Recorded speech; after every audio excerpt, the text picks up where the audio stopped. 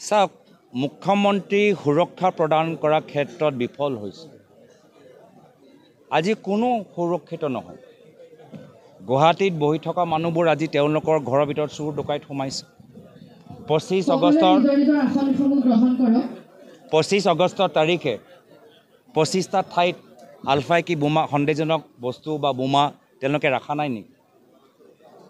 আজি কিমান আমাৰ চিণ্ডিকেটৰ জৰিয়তে আমাৰ সমাজৰ ভিতৰত এটা অস্থিৰ পৰিৱেশ হৈছে।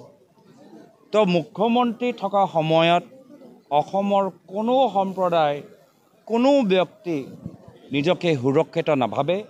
এয়া হিন্দু হ'ব পাৰে মুছলিম হ'ব পাৰে শিখ হ'ব পাৰে মাৰৱাৰী হ'ব পাৰে বঙালী হ'ব পাৰে বিহাৰী হ'ব পাৰে ট্ৰাইবেল হ'ব পাৰে। কোনো অসমীয়া ব্যক্তি কোনো জনগোষ্ঠী জনজাতি আজি মুখ্যমন্ত্ৰী হিমন্ত বিশ্ব শৰ্মা ডাঙৰীয়া যি অপশাসন আজি তাৰ বাবে কোনোৱে নিজকে সুৰক্ষিত নাভাবে আৰু তেখেতক তেওঁলোকক সুৰক্ষা দিয়াৰ ক্ষেত্ৰত মুখ্যমন্ত্ৰী সম্পূৰ্ণভাৱে আজি ব্যৰ্থ হৈছে। চাওক মুখ্যমন্ত্ৰী মহোদয়ে বাস্তৱ অস্ত্ৰটো আমি নাইকিয়া কৰি দিলোঁ। মুখ্যমন্ত্ৰী হিমন্ত বিশ্ব শৰ্মা ডাঙৰীয়া বাস্তৱ অস্ত্ৰ আছিলে মৌলানা আজমল চাহাব। সেইটো আমাৰ কংগ্ৰেছ দলৰ ৰকিবুল হুছেইন ডাঙৰীয়া সেই অস্ত্ৰটো ভাঙি চুৰমাৰ কৰি দিলে। এতিয়া উপায়হীন এতিয়া হিমন্ত বিশ্ব শৰ্মা ডাঙৰীয়া সৰু অজমল বিচাৰি আছে। সেইকাৰণে কেতিয়াবা এজন ইউনিভাৰ্চিটি মালিকক ধৰে কেতিয়াবা এজন সাংবাদিকজনক ধৰে। সেইটোতো তেওঁলোকৰ নিৰাশা এটা প্ৰমাণ। ইয়াৰ আগত কি কৰি আছিলে? ইয়াৰ আগত আজমল আজমল আজমল আজমল এতিয়া এতিয়া কংগ্ৰেছে যেতিয়া ইউ ডি এফক নাইকিয়া কৰি দিছে এতিয়া উপায়হীন হৈ গৈছে। আৰু সেইকাৰণে এতিয়া হিমন্ত বিশ্ব শৰ্মা ডাঙৰীয়া নিৰাশ হৈ এতিয়া সৰু অজমল বিচাৰি আছে। কিন্তু অসমৰ ৰাইজে গম পাই গৈছে যে তেওঁ প্ৰত্যেক ক্ষেত্ৰত ব্যৰ্থ হৈছে। স্মাৰ্ট মিটাৰ ক্ষেত্ৰত নিবনুৱা যুৱকসকলক সংস্থাপন দিয়াৰ ক্ষেত্ৰত চৰকাৰী কৰ্মচাৰীসকলক সন্মান দিয়াৰ ক্ষেত্ৰত শিক্ষা ক্ষেত্ৰত স্বাস্থ্য ক্ষেত্ৰত পি ডব্লিউ ডি বিভাগৰ ক্ষেত্ৰত অঁ এটা ক্ষেত্ৰত তেওঁ সফল হৈছে।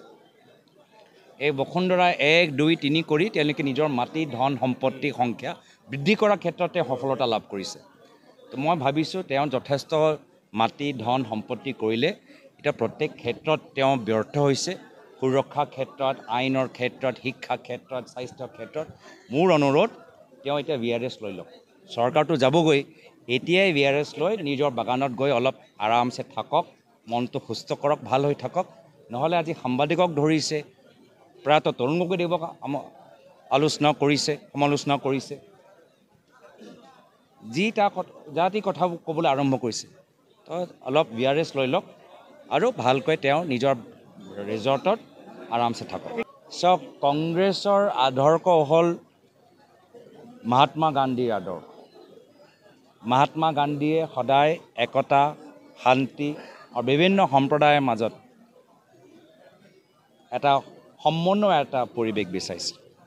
আজি ৰাহুল গান্ধী ডাঙৰীয়া আজি তেখেতৰ নিজে আজি এটা সমগ্ৰ ভাৰতৰ ভিতৰত এটা অভিযান চলাইছে যে নফৰত কি বাজাৰ মে মহব্বত কি দোকান খুলি এইটো এটা কংগ্ৰেছ।